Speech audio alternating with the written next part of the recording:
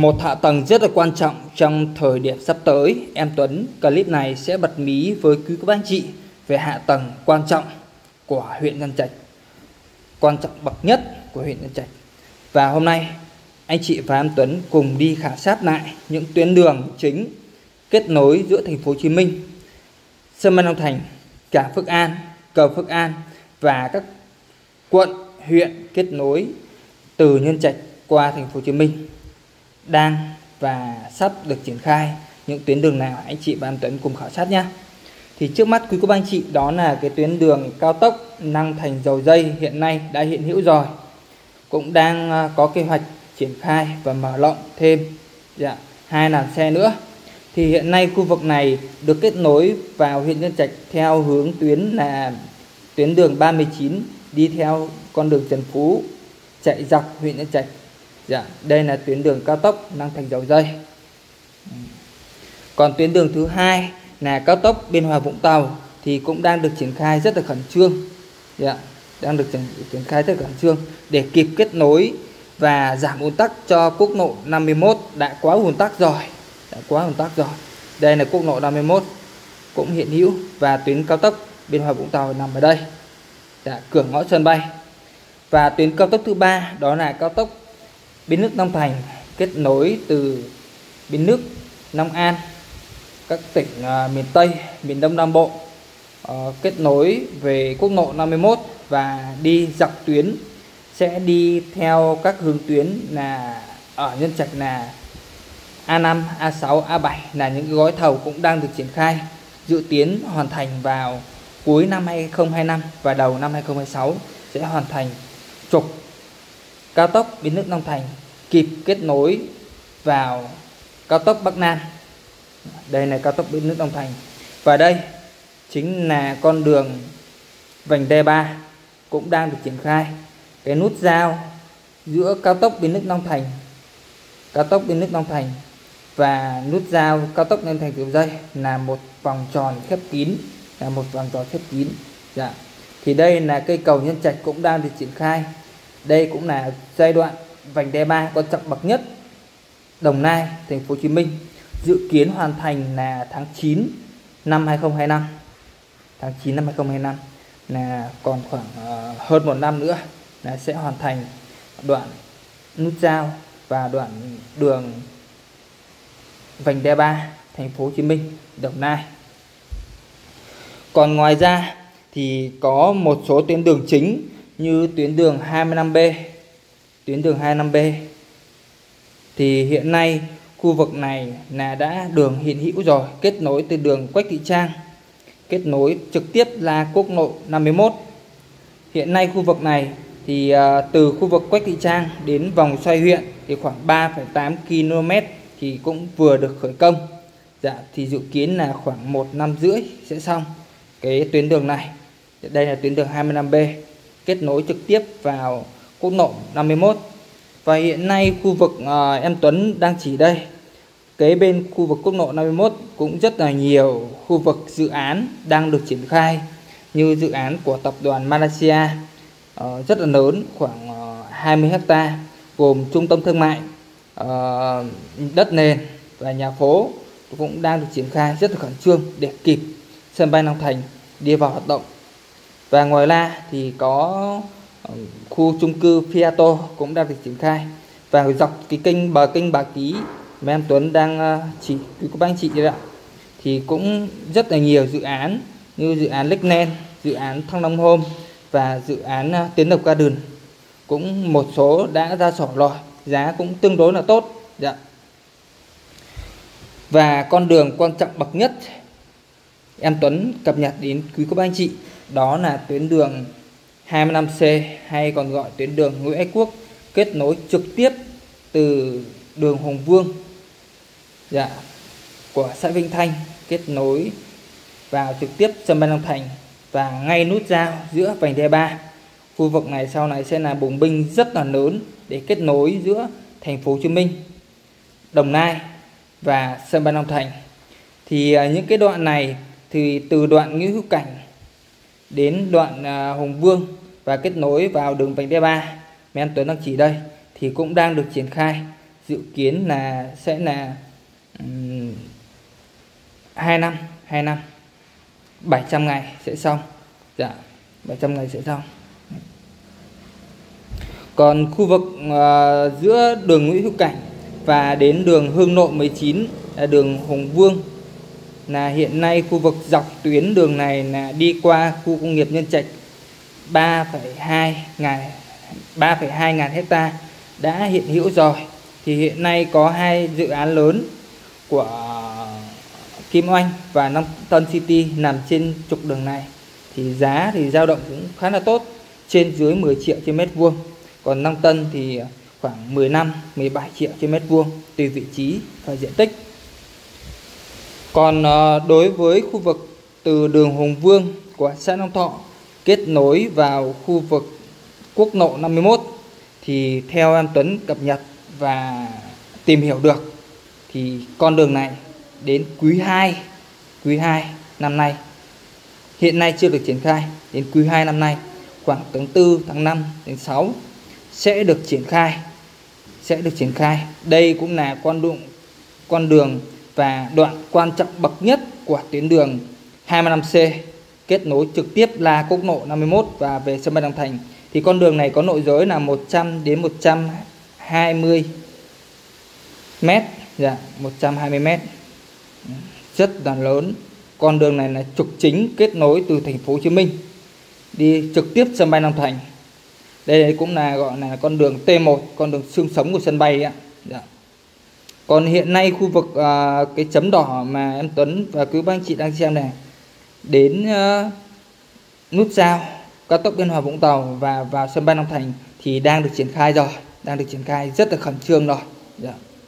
triển khai rất là khẩn trương rồi còn ngoài ra còn các tuyến đường như tuyến đường uh, uh, Trường Trinh tuyến đường Trường Trinh La Cả Phước An cầu Phước An thì uh, cũng đang được triển khai để kịp kết nối vào quý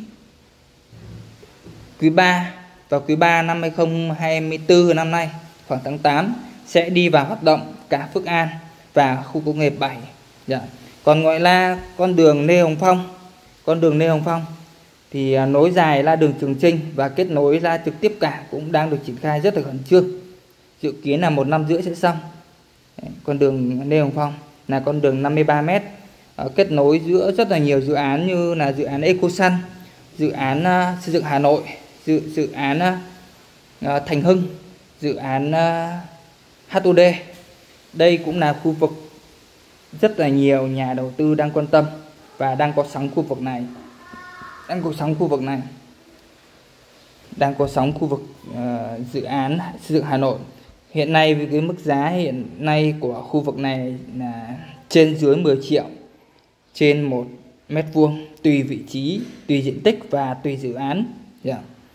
với mức giá rất là tốt sổ sẵn cường chứng ngay trong ngày thì em Tuấn uh, làm việc rất là nhiều khu vực ở trong khu vực dự án HUD xây dựng Hà Nội thì rất là nhiều anh chị quan tâm về dự án HUD xây dựng Hà Nội về cái mức giá thực sự là rất là tốt và kết nối trực tiếp vào đường Nguyễn Văn Cử theo đường Trần Phú và về trực tiếp sân bay Long Thành là đường hai sẹc và sân bay toàn đường lớn sau này rất là thuận tiện. Và chúng ta sẽ uh, có con đường thứ hai con thứ thứ ba con đường thứ tư là đi theo cao tốc Long Thành dầu dây cũng được đi theo đường vành đai 3 về quận 9 hay là đi về theo cao tốc bên nước Long Thành. Chỉ cách nút giao cao tốc bên nước Long Thành khoảng ờ, một cây số thôi là chúng ta sẽ về cao tốc ờ, vào về quận 7 nhà bè rất là thuận tiện. Đây cũng là một dự án rất là tốt. Sau này dạ. còn vị trí của khu vực này thì à, đang có hai chủ đầu tư. Hai nhà đầu tư lớn đang chuẩn bị được triển khai. Là nhà ở xã hội của khu vực tái định cư Phước An và một nhà ở xã hội tại khu vực dự án xây dựng Hà Nội.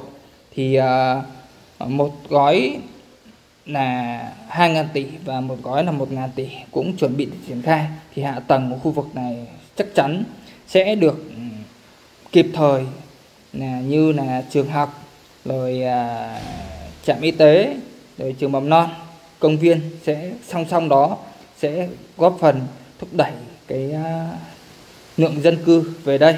Còn ngoài ra khu vực à, cả Phước An khu công nghiệp 7 thì tháng 8 năm nay được triển khai thì rất là nhiều lượng lớn cán bộ công nhân viên tại khu vực cảng lớn nhất của tỉnh Đồng Nai sẽ về đây làm việc và sẽ ở rất là nhiều trong khu vực dự án xây dựng Hà Nội HUD này, Thành Hưng này để mua để an cư lập nghiệp. Rất là gần khu công nghiệp. Kế bên Sài Gòn chỉ cách uh, cầu Sài Gòn khoảng 35 phút đi xe thôi. Dạ, rất là thuận tiện. Còn ngoài ra thông tin đặc biệt nữa là hiện nay thành phố Hồ Chí Minh đang đề nghị ừ, tỉnh Đồng Nai xem xét ờ, triển khai làm cầu Cát Lái năm 2025 năm 2025 sẽ dự kiến là sẽ triển khai cầu Cát Lái năm 2025 thì khi mà một cái dự án lớn, khi mà sân bay Long Thành đi vào hoạt động, thì một cái cao tốc Long Thành dầu dầu dây này và một cao tốc biến nước Long Thành này và vành đai 3 em Tuấn nghĩ là không thể nào đáp ứng được nổi cái lượng, lưu lượng giao thông quá lớn của riêng thành phố Hồ Chí Minh. Thì rất là lớn, lượng giao thông rất là lớn vì chúng ta hiện nay là đa số đến 70 đến 80 phần trăm là di chuyển từ sân bay quốc tế hoặc là di chuyển nội địa đều sẽ đi sân bay. Mà sân bay này là gần như là to nhất của Đông Nam Á. Thì cao tốc đang Thành Dầu Dây cao tốc uh, Bến Lức Long Thành Long Thành và đường vành đai 3 chưa thể đáp ứng được cái nhu cầu đi lại thì sẽ xảy ra ùn tắc nhiều thì sẽ thành phố Hồ Chí Minh sẽ có lựa chọn tiếp là cầu cát lái sẽ sớm được triển khai. Theo nhận định của An Tuấn là sẽ được sớm được triển khai năm 2025 thôi. Thì đó cũng là một cái thông tin cực kỳ tốt đối với thị trường nhân trạch và các tỉnh các huyện lân cận của vùng ven nhân trạch long thành và vùng ven sân bay. Dạ. còn khu vực này đối với đất dân của các xã như xã Phước Thiền, ờ, Năng Thọ, Vĩnh Thanh, Phước An thì cũng dao động ờ, khoảng từ 13 đến 15 triệu trên mét vuông tùy vị trí. Còn những cái nô đất xào thì dao động khoảng từ 2 đến 3 5 triệu trên một mét tùy vị trí và diện tích. Thì thực sự đây cũng là một cái cơ hội là là như kiểu là một năm để giao thời dạ.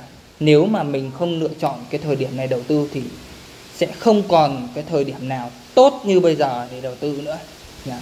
rất là nhiều hạ tầng sau 20 năm về trước thì những cái tuyến đường như tuyến đường à, vành đai, tuyến đường 25C tuyến đường 25B tuyến đường cao tốc biến nước Long Thành Long Thành dầu dây, cao tốc biến nước Long Thành đều chỉ là trên giấy thôi.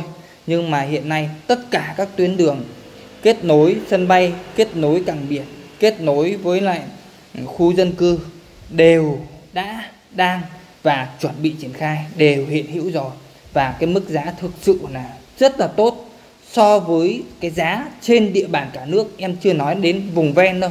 Vùng ven Hà Nội thì hiện nay khu vực ờ, như Đông Anh, Sóc Sơn và khu vực lân cận như là Hòa Lạc uh, Minh Ninh hay là khu vực uh, Hưng Yên chẳng hạn cũng dao động khoảng 40 đến 50 triệu trên mét vuông tùy vị trí.